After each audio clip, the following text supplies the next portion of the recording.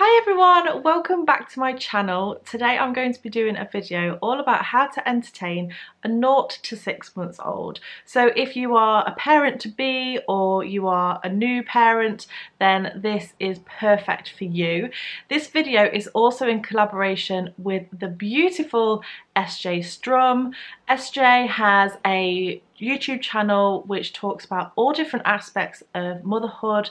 There is loads of tips and advice on there and she is also the queen of baby names. She's also the mum of three beautiful children, Freddie who is eight, Finn who is four and Evelina who is one. So her video is going to be all about how to entertain a one year old. So please make sure that you go across and check out SJ's channel after you've watched this one. Make sure that you show her some love and let her know that I sent you. Hi everyone, I'm SJ and this is my daughter Evelina. She is my third baby and since she turned one, she has not stopped. She's running around everywhere and it is hard to entertain them, isn't it? And I'm so happy to be on Sarah-Jayne's channel because we love following Sarah-Jayne and Ella and if you would like to hop over to our channel, we are sharing some ideas of how to entertain your older baby. We've been playing all day and she's ready for bed. You're going to wave in the night. Bye bye. See you soon guys. Hope you're over on our channel. Take care. Bye. But yes, let's get straight into this video. So first of all, I want to say that SJ actually recommended a book to me and it's this one here, Baby's First Skills. I'll leave a link in the description box below. Uh, but I went and got it straight away and I'm so glad I did. It's really, really good. It kind of breaks down things uh, month by month to what your baby is developing that particular month, what kind of act activities are good for them. So definitely I would recommend this. So I'm going to go right back to when your baby is a newborn. Now obviously at this phase they are sleeping and eating and that's pretty much it. They can't see in colour at this particular point in time. Um, that does come a little bit later but there are still things that you can do to entertain your baby and to really help with their development and that is things like getting really nice and close to them and making faces at them, showing them bold colours. Um, they might like to look at lights and things like that, but their, their vision is quite limited. So you, you do have to make sure that it's a little bit closer when it comes to newborns. Obviously you can make noises to them, different things like that, but you will see that as they start to grow, they will start developing new skills and they'll start seeing further and hearing more and things like that. So I'm going to talk a bit more about that now. So my daughter Ella is five and a half months at the moment and I'm going to go through a few things that I do to entertain her and that she really likes and that hopefully your little ones would like too. The first one is reading to them. Now obviously they can't read at the moment but they can look at really nice bold colourful books. It's also really good for them to listen to you read into them and they're just looking at the pictures and the colour uh, the colours and different things like that.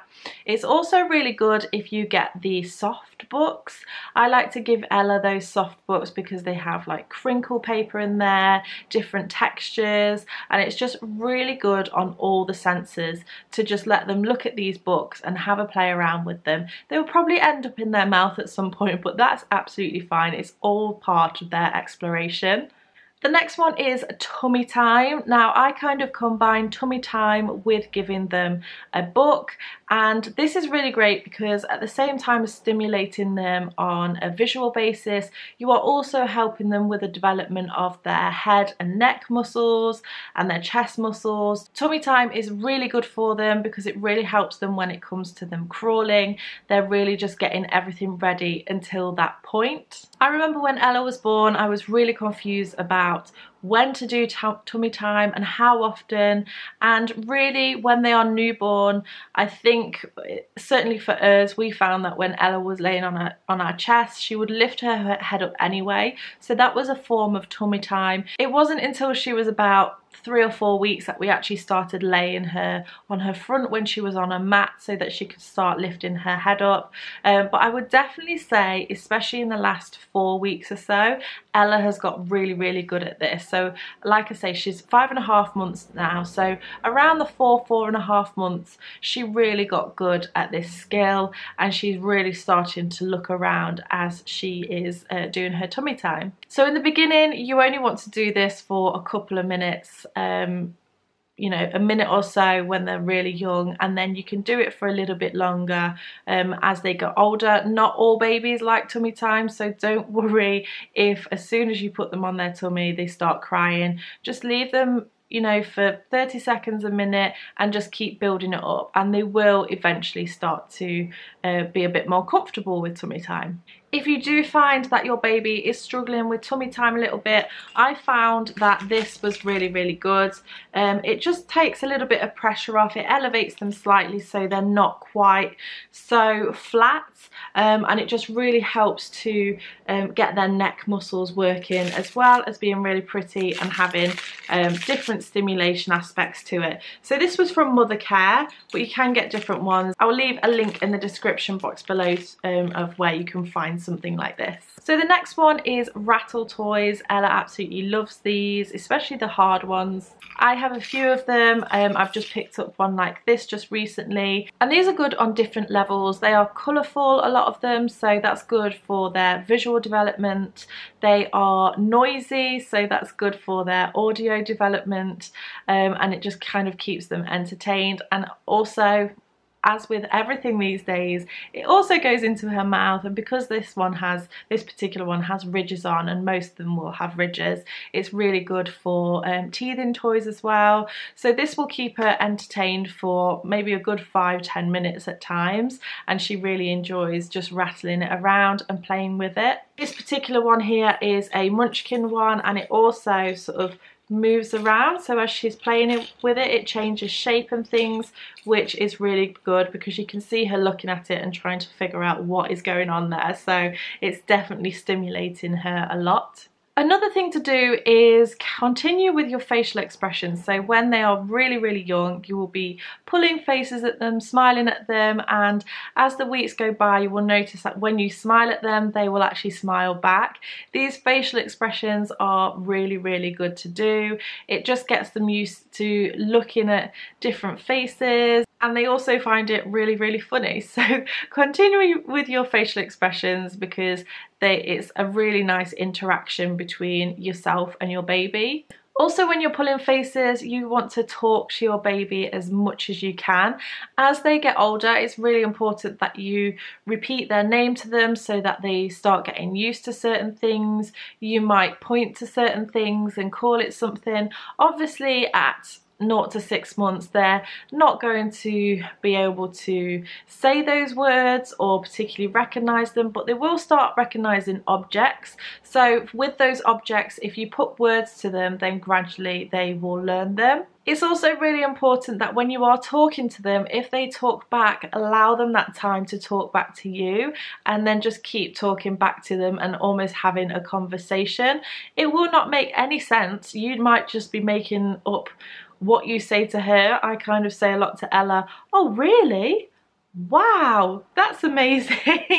um, and she really loves it and she will really, really try and talk back to me. She obviously knows what she wants to say. I have not got a clue, but it's really cute. what are you saying? Hello, hi. You gonna say hi? Are you gonna say hi? Yeah. And then the last thing I want to talk about is overhead toys. So when your uh, baby is on a playmat or in a bouncer, they often have the um, overhead toys which are hanging above them. These are really good if they are bright, if they are noisy. They might have crinkle paper, they might have a little bell in there, they might be a rattle. Anything that has um, different levels to it, so nice and bright and colourful uh, makes a noise and is close by to them so that they can touch it. is really excellent for them. I find that these types of things are actually a godsend because um, if I need to do anything, if I want to tidy a room or if I need to get ready, I will lay her on a playmat or sit her in a bouncer and it will keep her entertained for a while. What I have found with Ella though is as she is getting older, she is not wanting to lay back as much. She's wanting to try and sit up. She almost does like crunches as if she's laying down and she wants to sit up. She can't sit up on her own. Um, as such, she can if she's still, but as soon as she moves or waddles, she just kind of falls to the side. But I have this really cool little chair. It's like a bumbo, but it's the mamas and papas version. And I thought it was really big, good because it has a tray on the front. So I use this when I'm feeding her and it's also got an activity um, like center on the front as well. So things like balls and things that swing round. Again, really nice bold patterns and noisy things. And she absolutely loves to sit and play on this. Again, she might only be in there for three to five minutes but it's really good stimulation for her and it just gives me three to five minutes of being able to use my hands and getting something done. So they are all my suggestions and tips for how to entertain a naught to six month old.